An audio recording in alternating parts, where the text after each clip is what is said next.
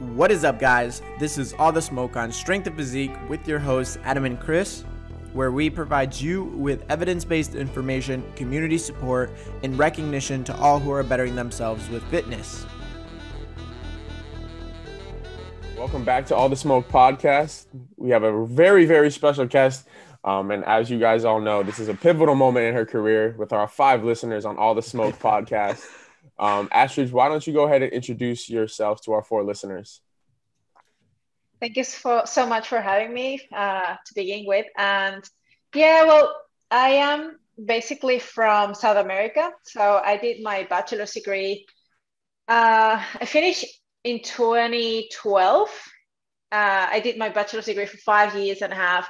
Then I did a little bit of my like private practice, education, uh, seminars, a, a, lot of different things like uh, a, a, young entrepreneur. And then I moved to Australia and I decided to do my master's degree for two and a half years.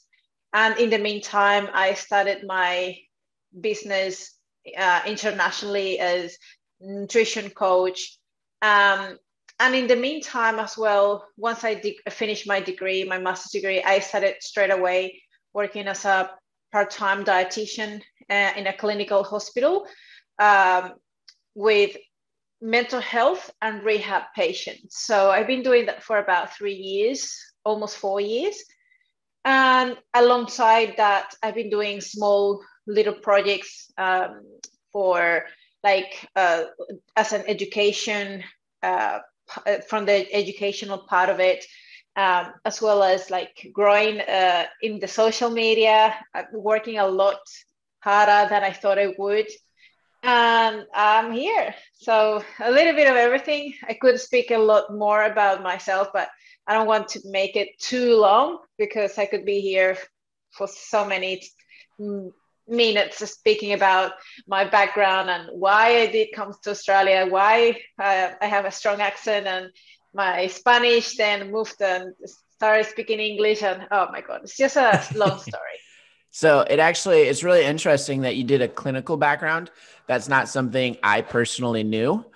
Uh, what drew you to that clinical aspect well, when you do your bachelor's degree as a nutrition dietetics, it, it sort of puts you in a position that you, you pretty much don't have any choice rather than you get taught a lot on the clinical side of dietetics. So it is something that you don't really decide whether you like it or not. It's part of the, the nutrition degree. Uh, and, and that's why it takes longer than like two years so like it's almost six six years it's five years and a half. And it takes you see it's, uh, it's like about 10 semesters and in every single of them you see different things. So it takes a lot of time. You see physiology biology biochemistry anatomy uh, uh, human nutrition you see clinical nutrition you see the the internships in the practice. You actually go into hospital work with patients in different uh, wards, in different settings, uh, outpatient setting, inpatients. It's, it's like a whole new world when you get to see dietetics. Like when I decided to be a dietitian, I was so selfish. I just wanted to be to know how to create and design a diet to lose weight. That that was my only thought. So that that was a okay. If I study nutrition, I'm going to be able to design diets and lose weight that's that's awesome. And i didn't know that that was so profound. And it's pretty much like studying medicine but obviously everything is about nutrition. So yeah it's, it's cool. That's i think that's a really good uh, a good point you made that a lot of people think like nutrition that aspect it's right. We just develop food a food plan and it should just lose weight. Um, but i think as you know now um, there's so many more components or variables that gotta go into it. Um, can you explain um, specifically with that mental health population, what are your type of avenues or routes that you would help them achieve with food relationships if that was something that you had to do? Do you mean mental health patients? Yeah, so the clinical population that you were speaking about, or even the clinical popul or the population you work with now, other than hey, it's not like it's not like here's macros, follow this. it's something yeah. I know that you're really big about is again sustainable fat loss and the mindset about um, achieving those goals. Yeah. So because I have so many hats, I, I think when I put my hat of clinical dietitian, um, sometimes you have to be very prescriptive because there's no other way that you can go about it with patients that might not be as compliant or they have a specific condition that you need them to uh, be very, very wary uh, and very diligent on. So, for example, patients that are already or over 65 years old, they need to te- they need to be told what to do. Uh, most of the times, if you don't give them specific directions or you're not very specific what you want from them, they are not going to be able to stick to the specific things or specific prescriptions, especially if it is coming from a request from family or from the doctor. Um, so you want them to be as adherent as possible.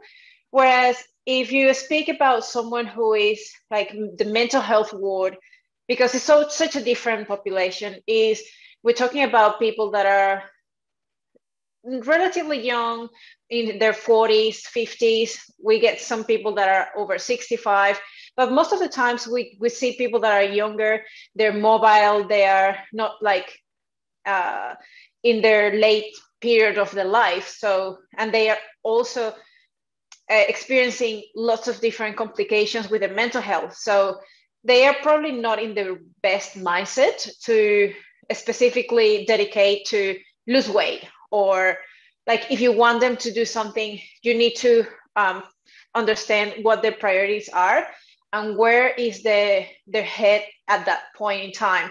And sometimes they come to me and they want to lose weight and they ask me what, what they should be doing and sometimes when i hear the stories i realize i don't think this is a good idea right now your priorities should be uh, focusing on getting better and managing your anxiety, your depression, um, getting things stable first, because it's like the foundation is the mindset and how you feel. And if you if that's not right, you pretty much could start a diet today because you feel good, you feel confident, you feel motivated, and tomorrow is a bad day, you're in a low mood, and you're just going to throw everything out of the window. So it is not going to work if you dedicate um, or you have the mindset, okay, you want to do it, but it is, is it the right time? I don't think it is. So I, it's a lot of conversations around that and, and understanding what the priority is, uh, trying to give them a little bit more of awareness of the importance of nutrition and mental health and how important it is to be very well nourished and understand the importance of eating uh, a whole range of different food groups in their diet, especially because when we talk about patients that are depressed or anxious, we, we see these two extremes. We see patients that can go and overeat because this is the comfort foods. So if they are stress eater, emotional eaters, they're going to use food as a coping mechanism. Whereas if uh, there's another extreme that people that are very stressed, anxious, they won't eat. So they could probably don't eat for the whole day, but then there's a point that the body is, like, I am, I can't deal with this anymore. I'm so ravenously hungry that it just pushes you to uh, an a, a unrational, I would say, like an irrational attitude where you're not taking the like ownership of your thoughts or your decisions. And it's kind of, it's like you know what? I'm just going to eat whatever whatever is the first thing i see. And generally something easy convenient quick and easy and high, very very high rich in calories. And it, they end up binging at night and that's why then they're starting complaining of why they are gaining weight or they blame the antidepressants but this is, is a lot of different factors that hasn't nothing to do with the antidepressants by itself. So i don't know it is a very deep complicated conversation um, when it comes to mental health patients. And on the other hats that i have especially with my clients in the mental health um, in, in my coaching like uh, when i am putting my anti-diet dietitian umbre- uh, hat, my umbrella. How many hats. hats do you have? How many hats do you exactly have? so when I put my hat of the anti-diet dietitian, I and I work with my clients online, it is another story. It is like dedicating 100% of my time to understand the background, why they want to achieve the goals they are trying to achieve. Um, and most of the times they come with the obvious reasons that they want to improve the body composition, they want to lose weight. And I generally find in this type of clients that they are chronic dieters. They've been trying to do, they've tried every single diet in the planet. They have failed. They regain the weight. They put the back. They start another diet. And this is a vicious cycle of dieting all the time. So when I understand that that's the pattern there, it is constantly repeating in these different clients. Most of the times I I sit down with them and tell them you need to stop dieting for a little while um, and learn behaviors that you need to utilize to improve your relationship with food in the first place. You need to have a better relationship with your body and have a better, uh, like a better end, uh, entry to a fat loss phase. You need to be more optimal to have a better and more optimal how do I say it? It's like a better awareness of your your bodily needs, your hunger levels, understand how you feel, what you need, rather than just wanting to follow a meal plan or being told what to do. Because I'm not the one who's going to tell you specifically what you need to do. I am going to negotiate with you. I'm going to offer you a range of tools that you can use, but I'm, you're not. You're never going to hear from me this is the macros, follow them, and I see you in one in one month. See you later. So that's not being a coach. That's not you don't get anything out of it. That can be told by an online macro calculator. So when when I when I hear these things, the, there's an expectation of, of what are you going to prescribe me? Uh, what what should I be following right now? Um, give me the meal plan and like i don't give meal plans in the first place and secondly i really want you to work with me to change completely the game in the sense of whatever you've been doing so far hasn't been working right so you are not going to continue doing the same thing you're not going to go back on a calorie deficit if you've been on a calorie deficit already you've been eating like for six months or a year, like 20, 1200 calories or 1300 calories, I actually going to make you eat more. And let's get you in a reverse diet. Let's get you more optimal, your metabolic, uh, your metabolic rate to be more optimal too. Let's get you stronger. Let's push the gym. Let's get better, more confident. Let's do all of these things. Learn how to embrace eating more because you deserve to eat more in the first place. You don't have to be dieting all the time to be skinny. You actually can do much better if you're eating more calories and you are training harder, you're you have energy, you're more consistent and you're not binging at night or being inconsistent over the weekends because you were so restrictive over the week that the weekends are a mess. So for me, it's like lots of different things. And I this is this is answering the question of why did I decided to be an RD, and I think I extended too much. So I'll shut up for a while.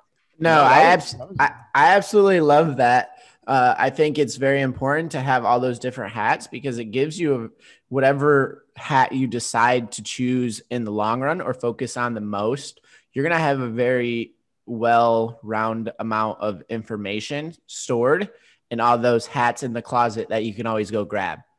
Um, and I think you touched on something extremely important figuring out actually what the client's all about. Yeah, the reason why they're coming to you is because they want to lose weight, change body composition in whatever way. That's really important. And it, it seems very redundant at times because I'll always get clients and I'm consistently having to ask why. Like they come, they're like, I want to gain muscle. And I'm like, okay, why do you want to do that? They're like, because I don't have a lot of muscle right now. I'm like, So, like, take away the thought of wanting muscle. What caused you to think that you wanted muscle? Was it a recent breakup? Was it you saw someone very attractive and they were with someone else that were huge? Uh, usually, there's a root cause that individuals, maybe their parents look down on them because they're not athletic, whatever the case is. Uh, it's very important to understand that why because then you can really relate to that individual and give them the help they need if they need uh ultimately if it's not really more muscles that they need maybe they just want to like run a 5k really good okay you don't need a lot of muscle to run a 5k we can be good at the 5k with how you currently look let's focus on the training and just fuel, fuel your body appropriately for that um, so i think all of those hats are really important. I absolutely loved listening to all of those. Uh, and you mentioned some things about like a reverse diet. Uh, what's your input on a reverse diet or recovery diet? How do you handle each of those, or do you consider each of those different? And explain a little bit on that. Yeah, sure. So, reverse diet and recovery diet are two, they're kind of a similar approach, but they're different in the sense that a recovery diet is more like acutely intense. Uh, it's like a, a, a, much more aggressive approach in the increase of calories. And it is used, usually utilized in someone who has a very strong metabolic adaptation from dieting. And we usually see this in competitors, physique competitors, uh, or people who has lost a lot a lot of weight and they are very in a very low body fat percentage um, so we see this in contest prep uh, physique athletes that generally they've they've lost quite a lot of weight and they they get to a very low body fat percentage um, and the physic, physiological adaptations are very strong and obvious at that point. So what you want to do once they compete is try to create this protocol of a recovery diet where you bring them back to maintenance, their actual maintenance. And in addition to that, you give them an additional four to th- uh, 400 to 1,000 calories on top of it. So you put them in a surplus to make them weight, uh, gain, make them gain weight at least 20% of what they lost uh, from their, their body weight competition. So it is, it is usually something that should be lasting about six weeks. So it's very aggressive, but it's something that it is generally utilized in someone who has uh, these metabolic adaptations quite, quite marked. Now, with the reverse dieting, it is something that you can utilize in competitors, uh, especially for those who might be uh, in in engage in other competitions within the same year. So you don't want them to regain all the way back to cut and go back down. Uh, but generally, you can utilize reverse dieting with general population or like more normal non-athlete or physique, uh, physique, physique athlete uh, populations. So I think the way you do reverse dieting is that you want to aim for a slow increase of calories in a progressive way, very gentle, and it is something that you you try to um, work with the clients in a way that the, the client doesn't gain as much weight and minimal amount of body fat as possible, uh, whilst trying to build up everything you can in terms of keep, keeping their, their training adequate. They it, it is like a small or short lean bulk that you might use with this type of approach. And usually you can utilize the reverse diet for uh, someone who has been chronically dieting for a long time and you want them to get into a better place in terms of their metabolic health maybe they they have they have been overtraining for a long time under eating, they're chronically exhausted. They you see uh, ongoing and repetitive repetition of binge binge eating, uh, chronic chronic uh, fatigue. There's a lot of different things that come with it. So what you want to do with the reverse diet is try to implement that gently. Um, especially if you have someone who is scared to gain weight too fast, you want to use this as a strategy to use you utilize that protocol. You increase calories slowly uh, every week, and in addition to that, or at least what I do with my clients is I try to start working around behaviors, habits, um, how you feel, how to build that relationship with food in the, at the same time you are eating more and realizing that you can have more energy, sleep better, uh, have the permission to eat more carbohydrates, uh, have carbohydrates at night because you feel like if you have carbohydrates after 6 p.m., you're going to gain weight. It's like breaking through all these myths and teaching them that they can eat more. And this giving giving them that power back that they have the control over, over the diet. They can be more intuitive. They can listen to their body and say and feel when they're hungry when they are satisfied, uh, be more mindful. So practice a lot of these mindful uh, eating strategies. In the meantime they're eating more and they're recovering um, and paying attention to their metabolic health so I guess that's a big difference. Um, I generally work mostly with the reverse diet. Um, there has been very, very few opportunities that I had the need to implement a recovery diet. It is something that you just might use sporadically with certain athletes if you need to. Yeah, I think a lot of people. Um, I think that's been a hot topic lately on social media: reverse and recovery. Um, and I think a lot of them think they're synonymous with each other. But I thought you did a really good job of um, breaking them down and showing that they're actually different. Um, and recovery shouldn't always just be. I think it's almost. I think something you mentioned is like the diet. Dieting is important, but I think the diet after the diet is just as important, right? Because a lot of people they've dieted and dieted, dieted, they had no success. So let's go ahead and start that reverse. Implement all these habits, um, and that will s- set you up for success in your fat loss phase. Um, is could you go over some of the mindset shifts or some of the like? I know you touched on a little bit, like, hey, you can have carbohydrates after 6 p.m.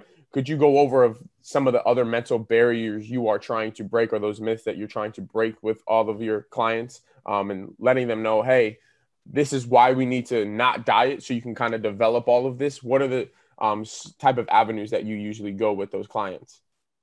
So I'll give you an example. I have a, I have this client um, that she she was dieting for she's just been dieting she thought that she had to diet for the rest of her life because she wanted to be physically more more slim and look more toned and she when when we sat down and talked about her diet. She she said that she was probably eating about 1300 calories. And her, her calories were very low for a long period of time but she said but I feel like I'm struggling to follow it, and I am, I am uh, finding that I'm not consistent as I should be. So I think there's no point to continue doing this diet because I am not achieving what I want to achieve because it's so low in calories that I feel like there's a lot of restriction. My relationship with food is is damaged because I have all the time I have this anxiety that I should be eating this and not this, and I should be avoiding certain foods. Uh, or when I go out, it is just that uh, idea that you can't have certain things or you won't be able to enjoy anything because you have to follow this this restrictive uh, protocol. So when I when I realized where she was at, the first thing I told her was, "What if we just take you to the best place you could be in terms of your maintenance calories. Probably we don't know yet what your maintenance calories might be because you've been chronically dieting for so long. That what we can do to figure that out is to do a reverse. So let's start from where you currently are, let's say 1300 calories, but I'm going to bump it up to 1500. And let's start there for a week. And let's see what happens. In the meantime, I really want you to pay attention to the speed that you that while you're eating what's the speed you're eating focus on your hunger cues are you hungry are you are you satisfied when you're eating um, i want you to pay attention to the quality of the food you're eating, um, the amount of protein. Are you eating enough protein in the first place? Um, maybe you're not even eating enough protein. Are you eating carbohydrates? Maybe you're not eating enough carbohydrates, and that's why your training sucks. Oh, that's why you're overeating at night because you are so hungry. You didn't have enough food in, in the morning. Are you having breakfast? Uh, it's these little things that we see that uh, they, they they seem to be hidden in the client's story. They don't tell you all these details, but when you start trying to understand all of these things, you realize that there's a lot of things that you need to understand and bring the bring them up to the client to realize everything they've been doing is just against what they should be doing to improve their their body composition their healthy their health their relationship with food. So it is trying to break every single thing and bring education so educate the client and bring them the empowerment that they can change by understanding the evidence behind certain things. I remember when I when I was younger and I had no idea that energy balance is sort of the king when you want to lose fat. I was so stressed about this is the stupid things like um, eating carbohydrates or after after 8 p.m. or having a treat every now and then because uh, I thought there were bad foods that I just couldn't eat anymore in my life. And if I had them, I had physically, I was feeling physically that I was gaining fat. And that's the power of the placebo effect and, and the and believing that something is bad. straight away I was feeling that I had cellulite in my legs. So that, that's how I was so overwhelmed with that um, that information that I was believing in. And when I understood, you know, you can be eating certain things to enjoy but if you still are if you're still in a calorie deficit you're going to lose fat. You're not going to gain weight. And like where has this information been in all my life? I wish i would have known this since the fir- very first day. Um, and I, it would have been so much easier. I wouldn't have had like my like an eating disorder bulimia i I had so much hard hard work on that on that period of time. So that's what I try to bring with to my clients: education, awareness, and open this whole new world when they have they can experience food freedom and still achieve their their their goals. But the most important thing is I try to educate that this is not a race and they should not try to rush everything just because they want to look better the only the only time I would say you have to lose weight quickly is if you are suffering from being overweight, if your joints are hurting, if your back is uh, affecting your quality of life, like if your excess of weight or body fat is actually affecting your health. That's when I support like a rapid fat loss uh, phase or something that it is very specific um, and prescribed to improve the quality of, of, of life and improve health in general. But if there's not a strong reason, I generally go for the sustainable approach. So I can bring every single tool I have to make sure this client is going to succeed beyond losing the weight and maintain and keep it off for the rest of their lives. And I think you know the key word there is sustainable. Um, and a lot of people don't understand that because, like you said, the chronic dieters, they eliminate so many things or they have that mindset that you keep it talking about as a hey i can't have carbs i can't have certain foods this is a bad food this is a good food and when you start narrowing your lenses that much it becomes unsustainable and unmaintainable and it becomes more of a, a stress than anything and then i think that's why it's so it just a spiral effect of negativity. Um, so i think you know what are ways that you try to make it sustainable? What are the way or the tools that you were talking about? What are ways that you're trying to educate those individuals that hey you can have carbohydrates? And like you said the overall king is calories in versus calories out. Um, but as you've kind of described there's so much more into that because we have these nutrition almost is a religion for some people. It's like i'm not following this or if i'm not eating this then i'm doing it completely wrong. What are the ways that you're trying to broaden that lens and allow them hey this is how we're going to make this sustainable this is how we're going to do things so you can build these habits and not go back to your old habits and this, these extremes and again hate your life because you're only eating 1200 calories? Because ice cream and cookies they're amazing. Yeah i think one of the most important things that i consider when i'm um, i'm deciding that a client is going to go into a fat loss phase i think we're, we're talking about only clients that need to lose weight right? Or yeah. So when we're specifically talking about someone who comes to you and wants to lose body weight, change the body composition, the first thing I try to analyze is obviously where is where they're at right now in terms of body composition, understand what are the health implications, any medical condition that might be around their health that could be affecting their adherence or taking medic- extra medications, um, the quality of life, the, their compliance, every single detail that might be affecting that aspect. Um, and also, I try to understand what is the relationship with food right now, and what is what are some of the beliefs and what's the mindset around eating? What is the current knowledge to begin with when it comes to tracking macros? Or what has been their experiences with previous diets? What was successful? What was not successful? Um, what made what made them understand that they needed a change? Um, what, what, what has been some of the things that uh, they found they could have done better but they didn't uh, and what were the challenges uh, or these barriers that were along the way that they couldn't overcome to achieve the goals. So once you have this, the whole picture of what is happening, you can you can tell that the client might not be in the best position to lose weight.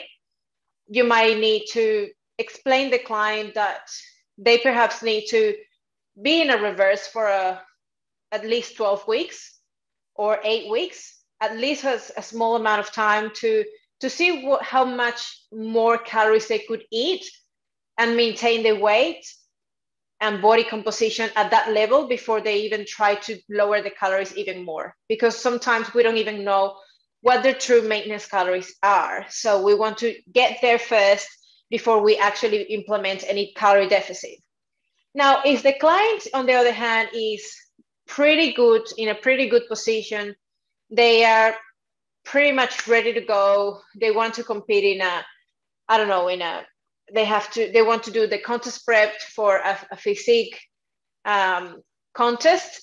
Then we do, then we try to do a, like a more narrow-minded, very specific approach to get them to the level they need to get for that competition. So again, is it sustainable? Is it optimal? No, so their objectives are completely different because you calculate you your current your current body composition body fat is 25% and you need to be at 12%. So how much time do we have to get you to from this amount of uh, body fat to 12%? So perhaps when we do the calculations, you probably have 20 weeks, 16 weeks. How much time do we have? And from there, if you have a lot of time, you probably can make it more sustainable because the, uh, the amount of calorie deficit can be much more gentle. But if you have a very narrow window where you have to work to cut as much uh, body fat as possible in a short period of time, you have to be aggressive and that's not sustainable. So if you have a client who has who's not competing in anything, they just want to lose weight, um, and you're not really paying attention to how much how many time how many months we do we have to lose the weight i sort of take it uh, like small goals at a time so for example if they are 100 kilos and they want to weigh 70 kilos at some point i don't tell them well we're uh, our first month we need to lose eight kilos so i don't tell them that kind of things i pretty much tell them let's aim for our first five kilos. Let's see when that happens, but let's focus on something gentle. If we wanted to lose five kilos, this is the amount of calorie deficit we should be aiming for to achieve that, um, that new weight. Let's see, we can, we can calculate and do all the calculations to achieve the first goal. That would be five kilos less, the first five kilos. Um, but at the end of the day, once you start implementing this into practice, you need to see how the client feels.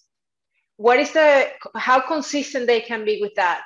Uh, whether you need to be more strategic uh, in terms of implementing more like a cycle of calories. Some days they can be a little bit lower, and some days it can be higher, so they can do more socialize, so, socializing. Um, they can go out on the weekends with the family. So it's more like uh, this, this cycling of calories to strategically accommodate for the client lifestyle. But on the any any other other points, I sort of go week by week and just say, well, um, if your current maintenance calories are 2,000 calories, let's drop 25% and see how it goes. See how much are you losing in terms of body body body weight in terms of uh, like the rate of body fat loss. And if you're losing 0.5% of your body weight per week, that sounds like reasonable. Is is a good rate. We can you keep going with that deficit. If you're losing too much, we need to slow down a bit. So maybe we increase the calories slowly for a little bit more. So the rate of fat loss is a little bit slower. And if there's no weight loss whatsoever, I always try to analyze why it is not happening. And sometimes it's not like the, the calculations were wrong. Sometimes if we if we're talking with a client that's a woman, there's a woman, probably we're looking at menstrual cycle. Uh, so is it perhaps not necessarily that you're not in a calorie deficit? Maybe you're in a calorie deficit, but you're retaining body water. So maybe that's what is hindering uh, or sort of um, hiding the real progress. So let's wait for a little bit more if there's no real weight loss happening. At least one more week to see whether we need to actually change anything. But in the meantime, you are as consistent as you can be. Do what as whatever you need to do. Ma- maintain your calories as much as you can. Um, keep your protein high uh, keep your steps uh, at, at, a certain level, is continue your resistance training, uh, pay attention to your sleep, hydration, lots of different things. Be mindful when you're sitting down, manage your cravings, all of these things. And then once we get there and see whether it is changing the way it's changing or not, then we adjust. So I, I hope it makes sense with these different scenarios. No, it makes perfect sense. I just wanted to ask you uh, a follow up on that. So, right, let's say an individual, right, they're doing everything to the T, but that scale won't budge. Um, even if let's say for a female, for example, it isn't their menstrual cycle, um, or for a male, it's just that again they're doing everything. What is your, I guess, your approach to that conversation? Like, hey, um, sure the scale is not moving, but you're doing X, Y, and Z. You're still seeing progress elsewhere. Are you kind of taking that approach, or are you just kind of saying, okay, your goal is that number. Let's go ahead and slash more calories? What are what is your approach for either one of those?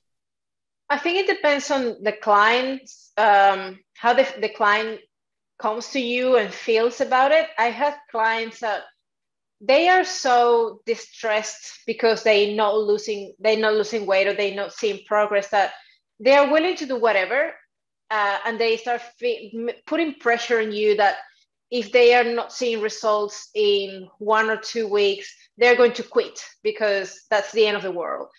And that puts pressure on you as a coach because your methods probably a little bit different and you want them to understand that it, you don't have to be rushing about it, that you are trying to build up other things around that weight loss that is not just the weight loss, but you want to build confidence, you want to you want to build that mindset that other things are important as well when you're trying to lose weight. What are your non weight related victories? Where how is your strength?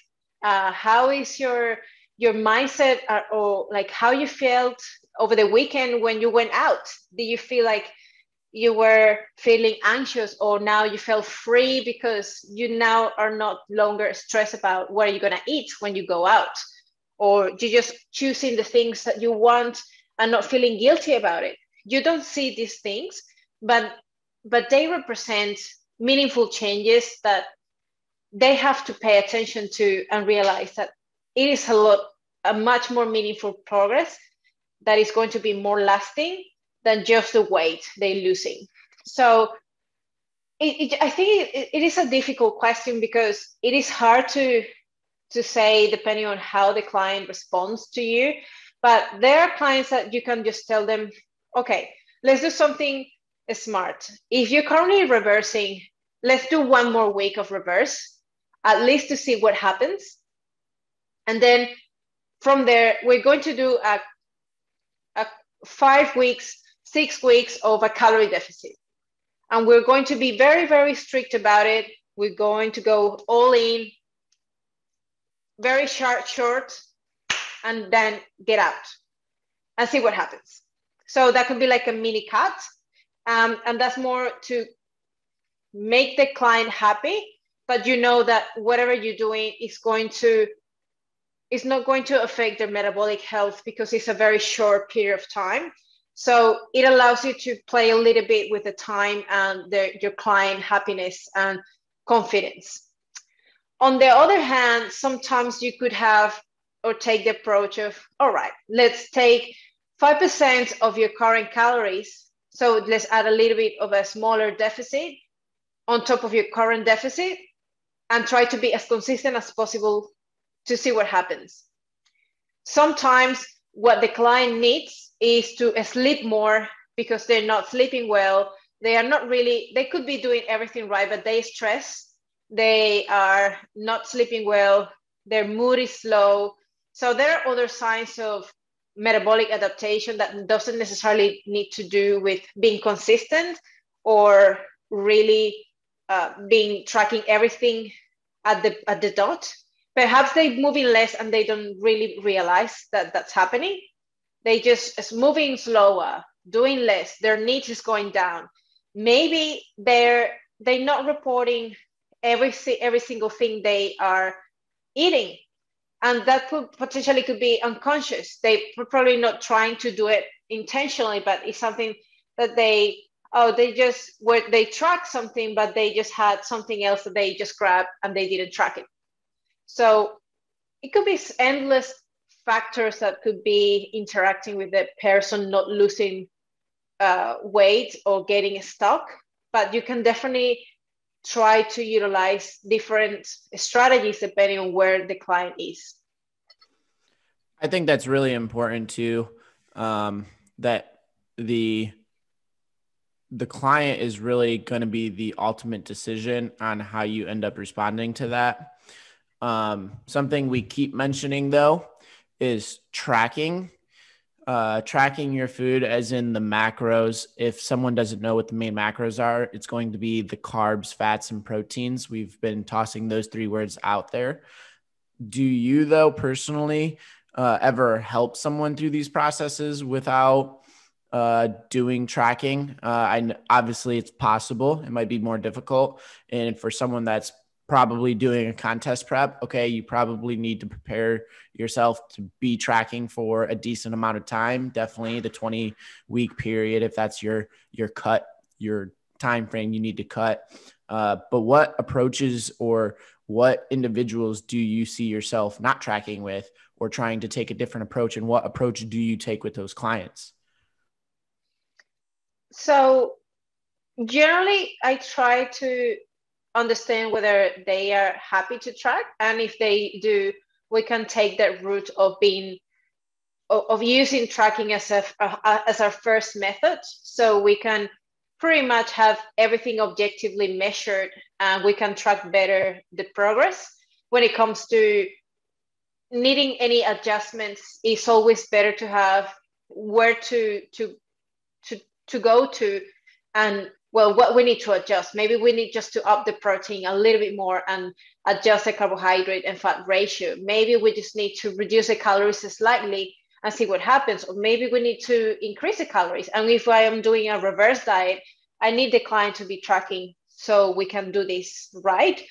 Now, if the client is completely against tracking because they have a very unhealthy relationship with food, um, or just simply because they are very busy people, or they are not willing to put more stress into their lives, um, I am all for giving them a structure they can follow or making a meal plan that is going to solve uh, or work with the client for a short period of time. But the way I try to teach or utilize these meal plans is based on um, something that I call the food choice system, which is basically teaching them the food groups and what a serve of each food groups represent in terms of calories, um, how much grams of carbohydrates a serve of carbohydrate will have. So they can refer, the, they know how many how many serves per day they have of each food group and they just refer to a list of exchange uh, uh exchange lists where each food group has like 20 30 different options within the same group and that you can choose from and basically alternate them and utilize as you will. So it is a it is a method that is very simple that allows them or takes the pressure the pressure out of counting or tracking macros every single time, and it's still something that they can utilize to learn about their their their food. So it's still a tool that they are learning something from. They understanding how much grams of carbohydrates protein has one serve um, and how to measure it because they need to learn how to measure and look at their portion size. So it's very, it, it is very good that I that you can utilize this technique for someone who doesn't want to to track specifically or they want to transition from um, tracking to something a little bit less um, a little bit a little bit different from tracking okay so it, that's something that I generally use that I can teach my clients to do. Apart from that, I can give, just give them a structure. So obviously, we know that the weight is going to dictate whether you're in a calorie deficit. If you're not losing weight, you're not in a calorie deficit. So that's one of the first things we need to see, or we can track if you're not necessarily tracking macros, but you can track your body composition and your weight as an objective measure of any sort of physical progress. And you can just uh, start from what they're currently eating. And if whatever they're eating at the moment is maintenance, that you can calculate from doing a food, uh, a food diary or food recall, and you as a coach calculate the calories and the macronutrients they're eating, you could basically understand, well, if you're not losing weight at this point, this is your calorie maintenance. So we just need to cut some portion sizes out. So maybe if you're eating two slices of bread for breakfast, let's eat one and see what happens from there. Uh, at lunch, let's do a small adjustment. Maybe you were having, I don't know, adding oil to uh, olive oil to your salad. Maybe instead of adding olive oil, let's not add any oil and see what happens. So we're cutting small, small portion sizes uh, without necessarily telling them that they have to aim for specific uh, targets. Um, and you can still see with these small changes good progress and uh, adjust from there. But it's a little bit more difficult because there's going to be a point that you don't really know how to, you have to be very objective and try to dig in very, very deeper if you want to see if the, the client is not losing weight at all, what you need to do to change it around so they can continue losing weight without tracking. So it's a little bit trickier. You can give them more structure. So let's say you're gonna eat three meals, two snacks. This is the, the plate you should look like half of the half of, of your plate should be vegetables, a quarter protein, a quarter uh, carbohydrates, and this should be three meals a day. See how it goes. If we need to change something, let's change the portion sizes and see how it goes. So it is a, a very long answer. I'm sorry. Uh, but yeah, trying to sort of cover every single angle of this answer. No, no, that's a really good answer, and it actually brings up another question I might have, or I do have, and not might. um, so you mentioned like a point system, or like uh, when you're not tracking, taking it from a list. Is that sort of? I don't know a lot about Weight Watchers, but I know they do a point system as well. Is that sort of the same concept? No, no, it's completely different because it's not like assigning points. Is like if I tell you exactly how it goes, is you as a coach have uh, a spreadsheet where you calculate exactly the calorie requirements and what's the the total calories once you decide what the deficit is. So let's say after you calculated the calorie deficit, the client is going to have 1800 calories. So these 100, 1800 calories uh, are going to be comprised by search a, tar- a protein target, carbohydrate targets, um, and fat targets. And basically what you do is assign assigning a specific food groups. So you have like when you look at the food pyramid or like the dietary guidelines, we see there are food groups, right?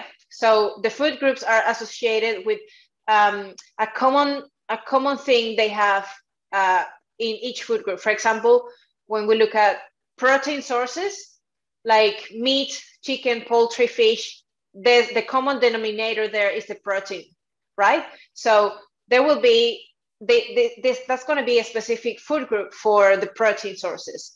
Then we have milk and milk and substitutes that is going to be um, milk and yogurt and like non-dairy, not dairy, non not real milk substitutes. Um, and then that is going to be another group. So basically, what you're saying is there are six food groups where they are they are categorized according to the main components of macronutrient distribution.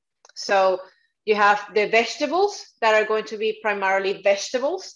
So they have around, in average, because these all these groups are based on average. Um, you have the, the, the vegetables are going to be around five grams of carbohydrates, two grams of fiber, 25 calories. Um, in average, the food group of fruit, for example, is going to be 60 calories, 15 grams of carbohydrates, no protein, um, and no fats.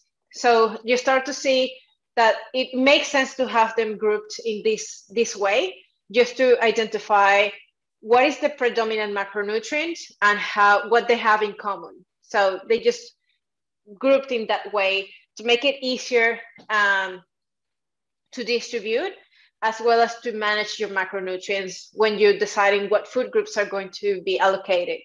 And once you you know that, you you pretty much extract well how much protein do I have? And with a spreadsheet basically it calculates everything out to basically give you a number of portions that you can have or serve that you can have of each food group. And you can distribute that as you wish eh, during the day but you try to make it more balanced. So you can have in one meal you could have one serve um, of vegetables for example that represents a cup of spinach for example um, one uh, two serves of i don't know two serve of, of carbohydrates that is about like if we think about pasta it is about a cup of pasta. So one serve is half a cup. Two serves would be a cup if you wanted to double that to double that the, the same serve. Um, and then you have three serve of protein, which one serve is about 30 grams. If you have three serves, you can eat 90 grams of chicken breast. So then you put that together and you have a, a dish or a plate where you have your, your vegetables, your protein, and your carbohydrates. So does that make sense? It's not like a point system that I'm telling you, if you eat this, you have five points, but if you eat this other thing, you have two points. So it doesn't work like that. It's more like teaching you specifically the nutrients that certain food have in a much simpler way that doesn't require yourself being counting or tracking every single time. I think that's an excellent explanation. Thank you. Yeah, I think that was great. And I think that's something that over time, when you track, you intuitively start having that. Um, and I think that's why, in my opinion, tracking is such a valuable tool. Um, and like you just did there, Ashley, it's a weird skill, a weird talent. You're able to just kind of ramble off, hey, a, a serving is this, is this grams of carbs, proteins, and fats. Um, some people look at you like, hold up, how the hell do you know that? Like, hey, I've been doing this for I don't know how long, but it's something that, right, I've done for that long, I've tracked for this long. And now once I need to step away from a diet, I can do that and not eat like an a-hole. Um, so that's why I try to under, I try to t- come to the approach where, hey, tracking is a, a, valuable tool, and I think it will set you up for long-term success um, going into a dieting phase or when you go on vacation. That hey, you know self-consciously what's in that food, and you can kind of make that choice by yourself. Um, but I like how you're able to kind of break it down, like, hey, you have this many servings of X, Y, Z. Um, now, kind of just build that plate off of it. It's a nice little visual um, that you kind of do with the opposite direction. Um, I so one thing that I kind of want to get your opinion on. Um, Jackson Peos he just came out with his paper on um, diet breaks and uh, things of that nature. Um, and Dr. Bill Campbell, the lab that Chris and I are involved in, we just I think uh, our first semester we had uh, just wrapped up our first um, refeed um, diet or study. And what are your approach on that? Because it seems like the the evidence, the evidence of the research is showing that there's really no physiological benefit from it. Even sometimes um, Jackson Peos' paper was there's not even a psychological benefit from it. Um, is that something that you utilize? And if it is, why do you use it? I think the diet breaks uh, and the refeeds are a tool like any other thing that uh, any other strategy you utilize to increase adherence into a fat loss phase or just make your clients uh, practice maintenance for a while, especially if we if you're trying to teach something that is sustainable uh, for a longer period of time. Getting a client from a fat loss phase that they're in a loan deficit and teaching them, well, now let's practice one maintenance for a week and see how it looks like, how it feels, how you manage, how you how are your habits that you've been learning actually play out when we're eating more calories. And sometimes I see it that way as um, practice maintenance in within your fat loss phase. So obviously there are clients that don't need to do it because they probably don't don't necessarily have the all these signs that require to bring them or get get, getting them out of the deficit just for the sake of upping the calories with no reason. And I think it is a very individual uh, individual approach that you need to see well how is your hunger energy cravings mood sleep? Are these things really telling you that you may need a break?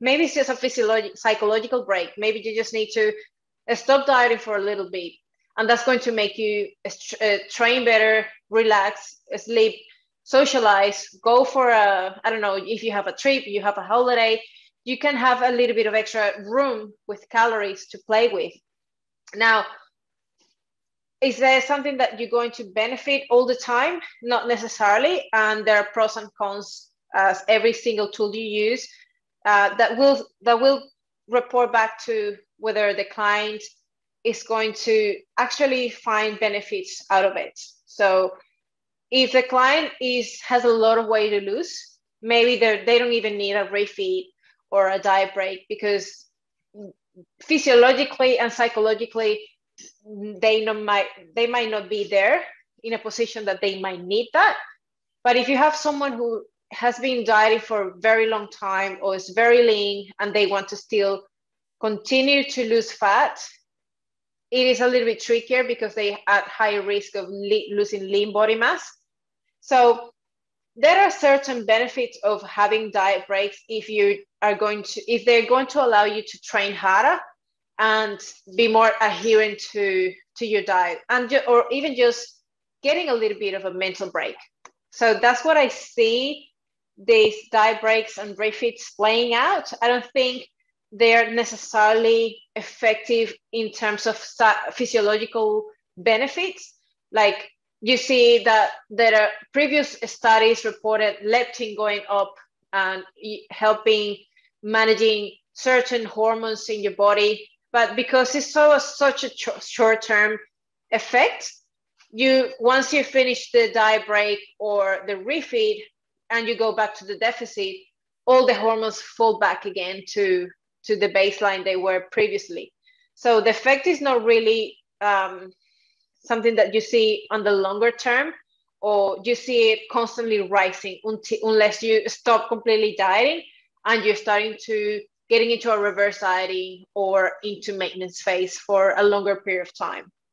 Hopefully that makes some sense. No, I think that made perfect sense. And I think, um, right, as claiming to be an evidence based coach, um, some people will just look at that one or two studies and be like, hold on, they don't do anything.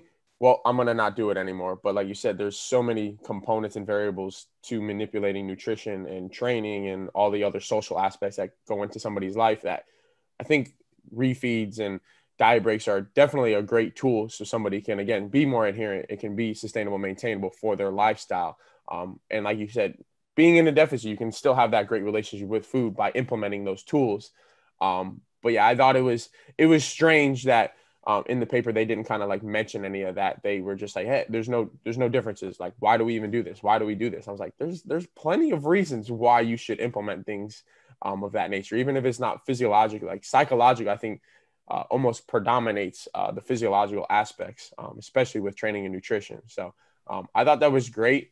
Um, Chris, do you have anything else for her? I just you touched on one hormone, leptin, uh, and that'll probably be our last question just to wrap it up. When you are dieting, leptin that's going to help you control uh, your hungers, uh, not control, but it's going to make your body want to stay what it normally is because if your leptin is going up, it's going to make you more hungrier. You're going to have these cravings. Your your body doesn't want to go away from what it's happy with. What are some ways that you as a coach help manage those cravings during those periods or if they're just cravings in general as well? So, if we if we're referring specifically to leptin, leptin is going to be more like the satiety hormone that is going to determine whether even if you eat uh, plenty of food you're actually satisfied and you're you can you it, like satis- being satisfied you can be very full but you can still feel like you're hungry that you're you haven't eaten anything. So that's the whole, that's the what leptin does.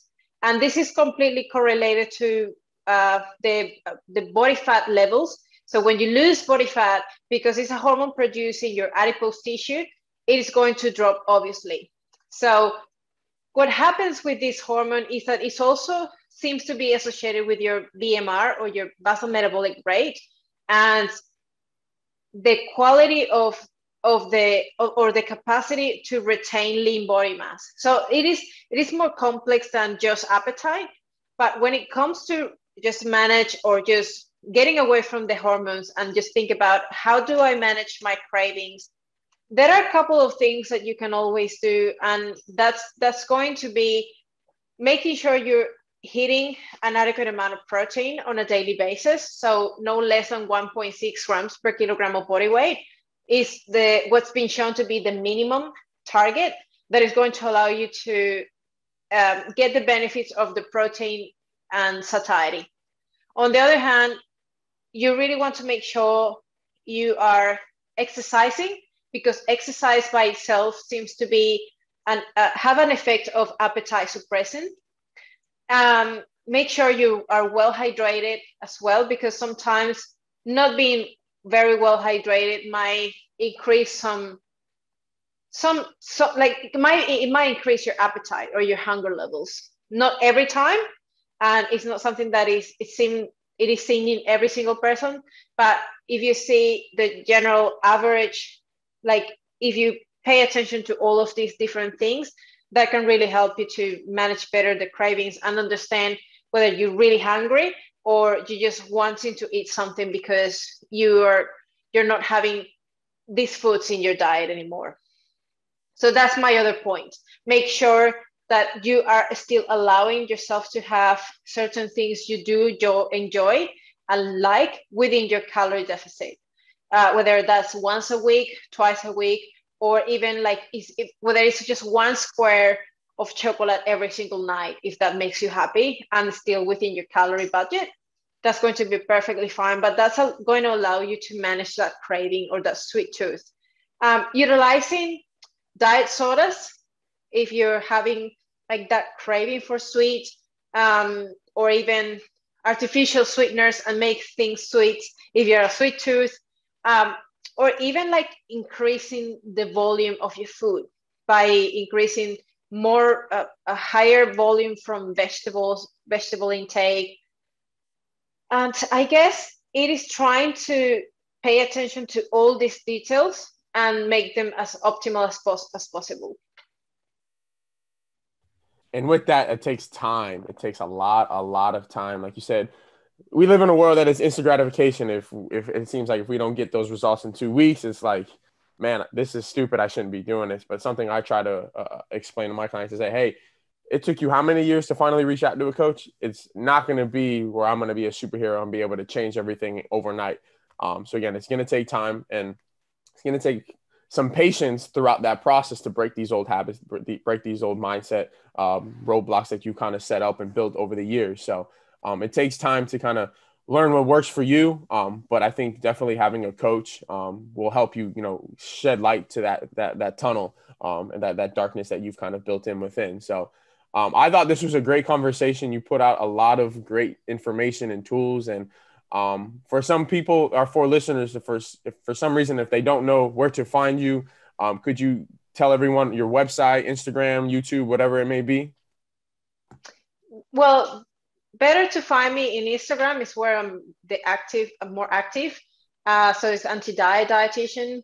Um, you can find me in my YouTube channel as Astrid dietitian. I don't know. I don't really know, but maybe my name and my and my dietitian you might find me yeah, there's a picture there that is my face you find me um, and i have my website that i just recently redeveloped uh, that is Astrid a street dietitian astriddietitian.com and you might find me there as well. So yeah.